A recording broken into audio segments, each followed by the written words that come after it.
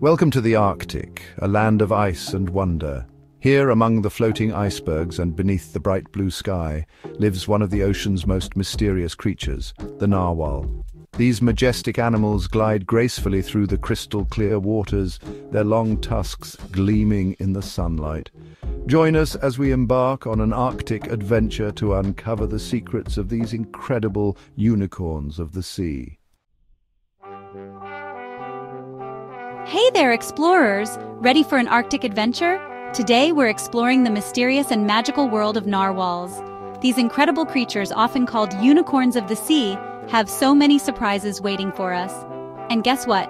We've got our expert friend, Nigel the Narwhal, here to answer all your burning questions.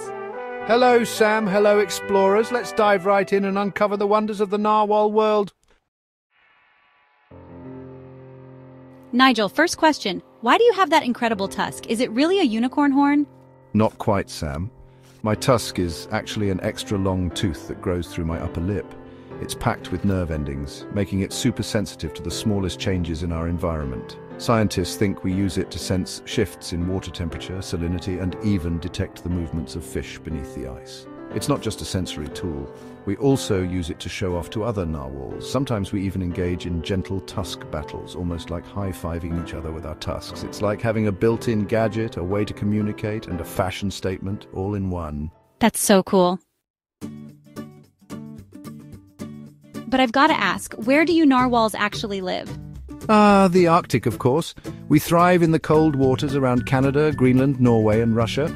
These areas are full of icebergs, fjords, and vast open ocean. The Arctic is unique because it's always changing. In the winter, it's covered in thick ice with just a few open spots for us to surface and breathe. In the summer, the ice melts, revealing rich feeding grounds full of shrimp, fish, and squid. The seasons shape everything about our lives, from where we travel to how we find food.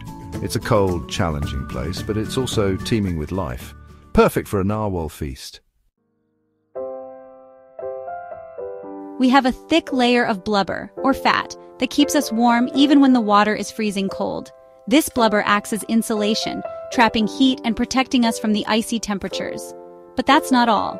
Our bodies are also streamlined to conserve energy, and our circulatory system adapts to the cold by redirecting blood flow to keep our vital organs warm. When the ice starts to close in during winter, we use our tusks to carve out breathing holes in the thin ice, it's like we're Arctic engineers, always prepared for whatever nature throws at us. We're built for this chilly life, and we wouldn't trade it for anything. Nigel, how do you stay warm in such freezing temperatures? Speaking of ice, how deep can you dive under it? Oh, we're expert divers. We can go over a mile deep to search for tasty squid and fish. That's deeper than most submarines can go. Our bodies are made to handle the pressure of the deep ocean. Nigel, what do you and your narwhal friends do for fun? Play, of course. We chase each other, dive and surface together, and sometimes have tusk jousting matches, all in good fun. Calves, or baby narwhals, are especially playful. They're always poking at things with their tiny tusks and exploring the Arctic like it's a giant playground. Speaking of calves, how do narwhals take care of their babies? Mothers are very protective of their calves. They keep them close and teach them everything they need to know about swimming, finding food, and staying safe from predators. A narwhal pod is like one big family, always looking out for each other. Wow, that's really interesting. Nigel, can you tell us about predators? Do narwhals have to worry about any?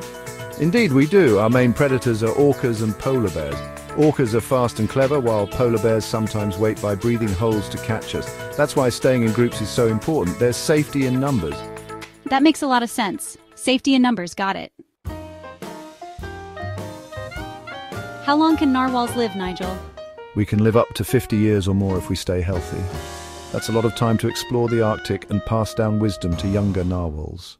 50 years. That's incredible. Nigel, what makes the Arctic such a special place for narwhals? The Arctic is a magical world, Sam. The icy waters are perfect for us, full of food and places to hide from predators.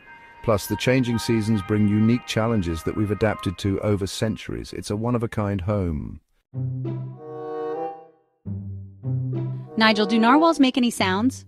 Oh, we're quite chatty. We make clicks, whistles, and even buzzing sounds to communicate with each other and navigate through the dark waters. It's our own underwater language.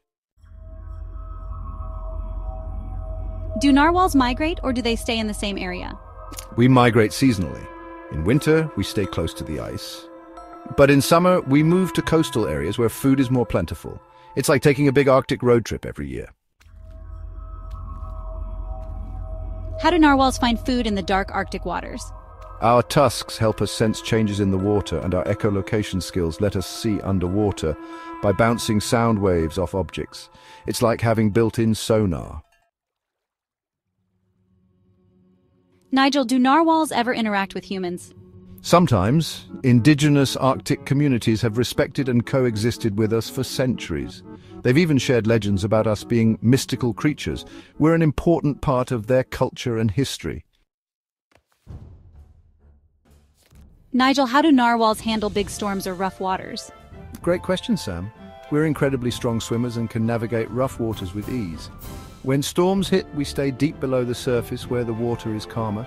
Our bodies are built to withstand the pressures of the deep, so we're safe from the turbulence above. Sometimes we even use large icebergs as shelters from the worst of the stormy winds and waves. It's all about knowing the Arctic and adapting to its every mood. What do narwhals eat most often? Our favorite meals are fish, squid and shrimp. In the summer, we feast on Arctic cod and halibut near the coast. But in the winter, we hunt for deep-sea creatures like Greenland halibut and Gonatus squid. We use echolocation to find our prey in the dark and our sharp, sensitive teeth to snag them. It's like having an underwater buffet all year long. Wow, that's fascinating. Nigel, how do narwhals sleep? Ah, sleep for a narwhal is quite different. We rest by floating near the surface or just below it, often in short bursts. Since we need to surface to breathe, we can't fully fall asleep like land animals do. Instead, we go into a half-resting state where one part of our brain stays alert while the other takes a break. It's a bit like taking lots of little naps throughout the day. That sounds really interesting. What do narwhals do during the long Arctic winter? Uh, winter is a busy time for us, Sam.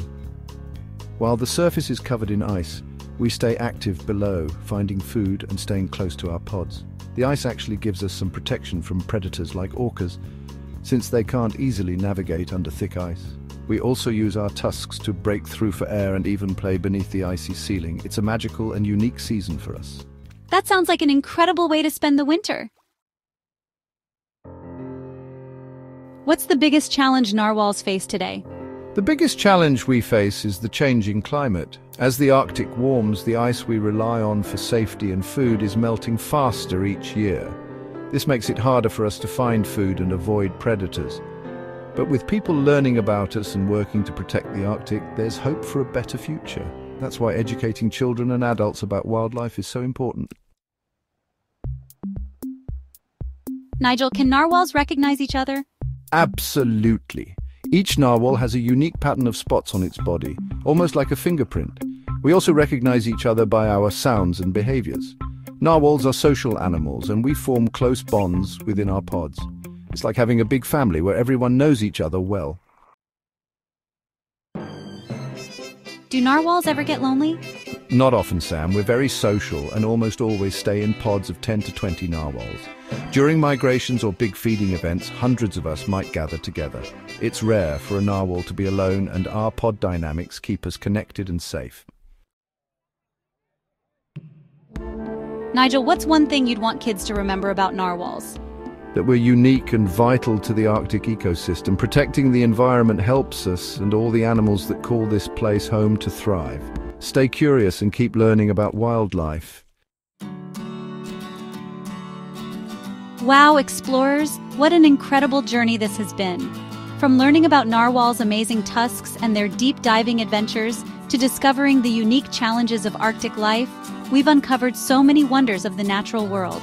But before we say goodbye, let's take one last moment to celebrate the beauty and resilience of these magical creatures. Narwhals remind us that even in the coldest, most remote places on Earth, life finds a way to thrive. These gentle giants play a vital role in their ecosystem, from balancing the food chain to supporting the Arctic's delicate harmony. It's up to all of us to protect their home and ensure that future generations can marvel at their beauty. And isn't it so cool for kids like you to see and learn about real animals from around the world? Here on this channel, every adventure takes us closer to understanding the incredible creatures that share our planet. Explorers, thank you for joining us on this journey through my Arctic home.